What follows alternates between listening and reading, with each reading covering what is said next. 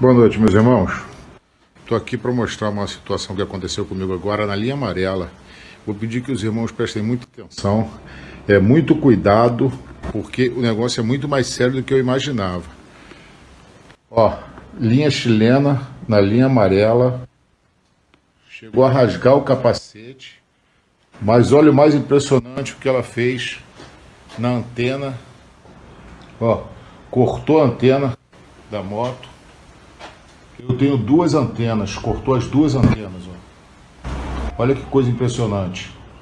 Então, meus irmãos, o negócio é muito mais sério do que a gente imagina.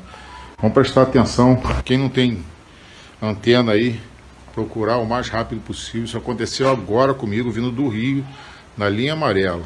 Valeu, meus irmãos. Comigo, graças a Deus, não aconteceu nada, a linha não chegou a pegar em mim.